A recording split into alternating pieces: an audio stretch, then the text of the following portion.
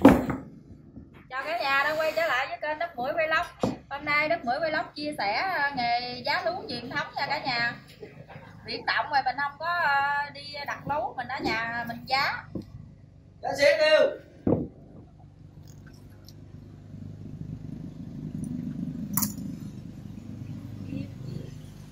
kéo mình cắt coi theo ờ, đục lú rồi chỗ nào cua rồi nó kẹp gắt á mình ờ, lại. Giá mình đục trước mình kiểm tra.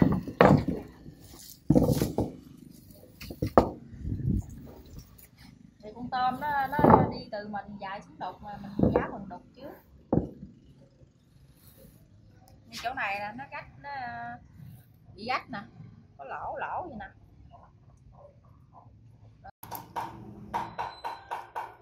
Đây, lỗ gách nè.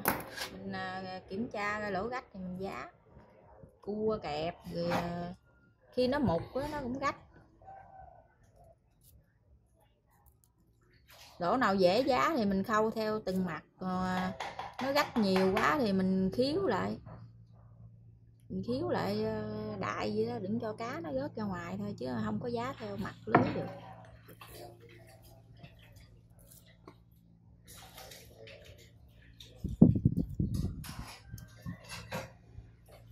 Ở đây ờ, mình ờ, mướn người giá thì tiền công là một tiếng đồng hồ như vậy là 20 ngàn. Từ 7 giờ sáng giá tới 5 giờ chiều là 10 tiếng là 200 ngàn. Lỗ này là mình vừa giá xong nè cả nhà. Đó, mình khâu ờ, theo mặt giống như cái lưới cũ của nó nè. Lỗ nào gắt nhừ quá thì mình ờ, khâu lại đại lại cho nó đừng có bị ờ, cá tôm nó rớt ra ngoài thôi. Cái nào dễ giá thì mình giá khâu lại cái mặt lưới nó y như cũ. Thì mình vô cái mối, đừng có cho nó ruột á.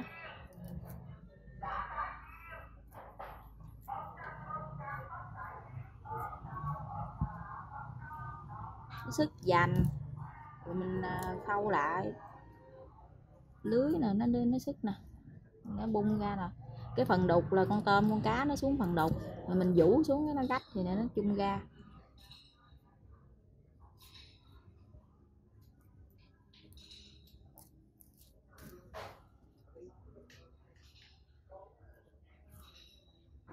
Thời gian biển động thì mình đem vô mình giá Rồi mình kéo từ từ ờ, kiếm lỗ gắt giá. Đây, nó mài vô trong những cái dành này nè, nó gắt như gì nè. Nó cọ vô cái dòng sắt đó thì nó gắt cái này mình thiếu lại chứ mình không có giá từ mặt được.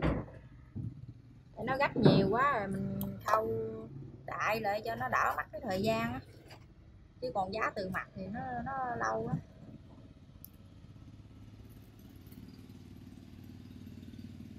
mình không có giá theo ờ, cái mặt cũ, theo cái mặt lưới cũ những video lần trước đó thì mình ờ, chia sẻ với cả nhà ờ, đi đánh bắt. Chứ mình không có chia sẻ giá lúa. Cái này cũng là một cái nghề ở quê mình thì những người phụ nữ lãnh cảnh thì họ đi giá mướn gì nè. Ngày cũng được 200 khi thì hai trăm rưỡi ngày công.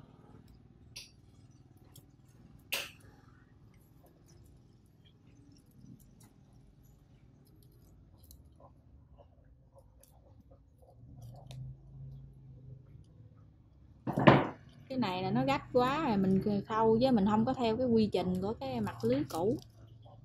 Cái phần đục thì mặt nào dễ thì mình giá theo cái quy trình.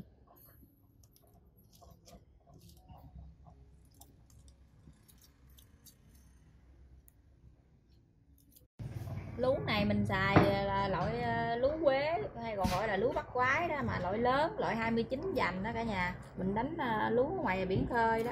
Là mình xài lú lớn 29 dành còn loại đánh bắt ở trong rừng đánh bắt gần bờ là loại lú nhỏ. Và cái mặt lưới nó nhỏ.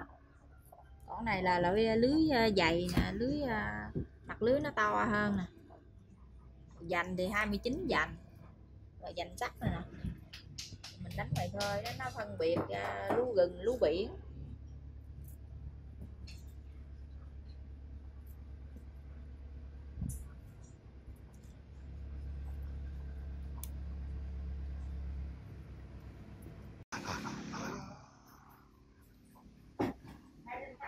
Hôm nay thì mình à, chia sẻ nghề giá lú uh, truyền thống cả nhà thấy hay thì nhớ đăng ký để ủng hộ kênh đất mũi lóc của mình nha cả nhà.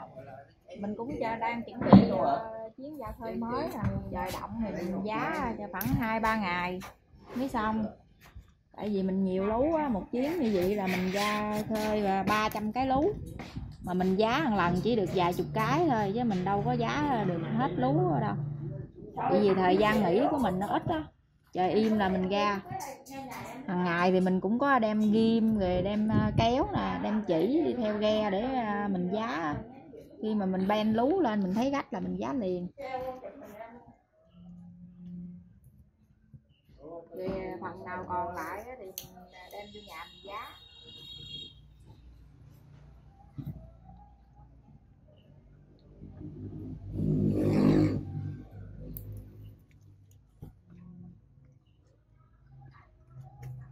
Hẹn gặp lại cả nhà trong những video lần sau.